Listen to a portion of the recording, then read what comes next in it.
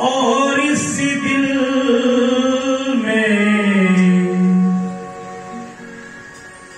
क्या रखा है? तेरा ही दर्द छुपा रखा